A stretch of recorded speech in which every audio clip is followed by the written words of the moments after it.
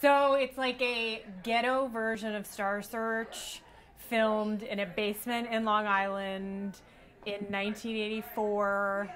hosted by a guy who is named Frank Masi, who I refer to as the Italian Stallion, um, who has like bad hair and everything is awkward, and there's like glitter and people who will never achieve fame who are convinced that they are